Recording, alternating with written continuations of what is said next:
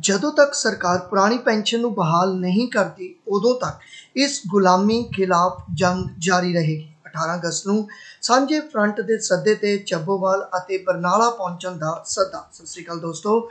ਤੁਹਾਡੇ ਆਪਣੇ channel mind coach ਦੇ ਵਿੱਚ ਤੁਹਾਡਾ ਸਵਾਗਤ ਹੈ। ਇਹ ਇੱਕ ਇਨਫੋਰਮੇਟਿਵ ਪਲੇਟਫਾਰਮ ਹੈ, ਜਿਸ ਦੇ ਵਿੱਚ ਜੌਬ ਅਲਰਟਸ ਨੋਟੀਫਿਕੇਸ਼ਨ ਅਤੇ ਹੋਰ ਬਹੁਤ ਸਾਰੀ ਇਨਫੋਰਮੇਸ਼ਨ ਤੁਹਾਨੂੰ ਪ੍ਰੋਵਾਈਡ ਕਰਵਾਈ ਜਾਂਦੀ ਹੈ।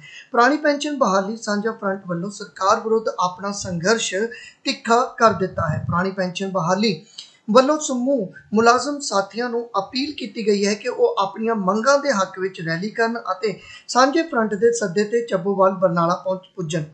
ਦਰਅਸਲ ਲੰਬੇ ਅਰਸੇ ਤੋਂ ਮੁਲਾਜ਼ਮ ਪੈਨਸ਼ਨਰ ਦੀਆਂ ਮੰਗਾਂ ਨੂੰ ਨਾ ਮੰਨਣ ਅਤੇ ਮੀਟਿੰਗਾਂ ਦੇ ਕੇ ਮੁਲਤਵੀ ਕਰਨ ਕਾਰਨ ਮੁਲਾਜ਼ਮਾਂ ਤੇ ਪੈਨਸ਼ਨਰਾਂ 'ਚ ਨਾ ਉਮੀਦੀ ਉਦਾਸੀ ਅਤੇ ਰੋਸ ਪਾਇਆ ਜਾ ਰਿਹਾ ਹੈ, ਜਿਸ ਦੇ ਕਰਕੇ ਮੁਲਾਜ਼ਮ ਪੈਨਸ਼ਨਰ ਸਾਂਝਾ ਫਰੰਟ ਨੇ ਸਰਕਾਰ ਦਾ ਵਿਰੋਧ ਕਰਨ ਦੇ ਲਈ ਜਿਮਨੀ ਚੋਣਾਂ 'ਚ ਰੈਲੀਆਂ, ਪ੍ਰਦਰਸ਼ਨ ਅਰਤੀ ਫੂਕ ਮੁਜ਼ਾਹਰੇ ਧਰਨੇ ਕਰਨ ਦਾ ਵੱਡਾ ਐਕਸ਼ਨ ਵਿੱਢਿਆ ਹੈ, ਜਿਸ ਦੇ ਤਹਿਤ ਜਿਸ ਦੇ ਤਹਿਤ ਜਥੇਬੰਦੀਆਂ ਦੇ ਲੀਡਰਾਂ ਵੱਲੋਂ ਸਮੂਹ ਮੁਲਾਜ਼ਮਾਂ ਨੂੰ ਬੇਨਤੀ ਕੀਤੀ ਗਈ ਹੈ ਕਿ ਯਾਦ ਰੱਖਣਾ, ਭੁੱਲਣਾ ਨਹੀਂ। ਪੁਰਾਣੀ ਪੈਨਸ਼ਨ ਦੀ ਬਹਾਲੀ 'ਚ ਦੇਰੀ ਕਰਨ ਲਈ ਜਿਮਨੀ ਚੋਣਾਂ 'ਚ ਵਿਰੋਧ ਦਰਜ ਕਰਾਉਣ ਦੇ ਲਈ ਮਿਤੀ 18 ਅਗਸਤ 2024 ਦਿਨ ਐਤਵਾਰ ਬਰਨਾਲਾ ਵਿਖੇ, ਸਮੁੱਚਾ ਮਾਲਵਾ ਖੇਤਰ, ਚੱਬੋਵਾਲ ਵਿਖੇ, ਦੁਆਬਾ ਅਤੇ ਮਾਝਾ ਖੇਤਰ ਅਤੇ ਸਾਰੇ ਐਨਪੀਐਸ ਮੁਲਾਜ਼ਮ ਬੈਨਰ ਤਖਤੀਆਂ ਅਤੇ ਝੰਡੀਆਂ ਸਮੇਤ ਹੁਮ ਹੁਮਾ ਕੇ ਚੰਦਾ ਸੱਦਾ ਦਿੱਤਾ ਗਿਆ ਹੈ। ਸੋ ਮੁਲਾਜ਼ਮਾਂ ਨੂੰ ਬੇਨਤੀ ਹੈ ਕਿ ਐਨਪੀਐਸ ਤੋਂ ਆਜ਼ਾਦੀ ਲੈਣ ਦੇ ਲਈ ਅਤੇ ਪੁਰਾਣੀ ਪੈਨਸ਼ਨ ਬਹਾਲ ਕਰਨ ਦੇ ਲਈ ਸਾਰੇ ਮਿਲ ਕੇ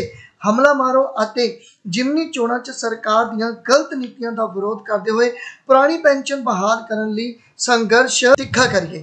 ਤੋਂ ਅੱਜ ਦੀ ਵੀਡੀਓ ਦੇ ਵਿੱਚ ਇੰਨਾ ਹੀ। ਵੀਡੀਓ 'ਚ ਬਣੇ ਰਹਿਣ ਦੀ ਤੁਹਾਡਾ ਬਹੁਤ ਬਹੁਤ ਧੰਨਵਾਦ। ਚੈਨਲ ਤੇ ਨਵੇਂ ਹੋ ਤੋ ਚੈਨਲ ਨੂੰ ਸਬਸਕ੍ਰਾਈਬ ਕਰ ਲਓ ਬੈਲ ਆਈਕਨ ਨੂੰ ਪ੍ਰੈਸ ਕਰ ਲਓ ਤਾਂ ਜੋ ਆਉਣ ਵਾਲੀਆਂ ਵੀਡੀਓਜ਼ ਦੀ ਨੋਟੀਫਿਕੇਸ਼ਨ ਤੁਹਾਨੂੰ ਸਮੇਂ ਸਿਰ ਮਿਲ ਸਕੇ। Thank you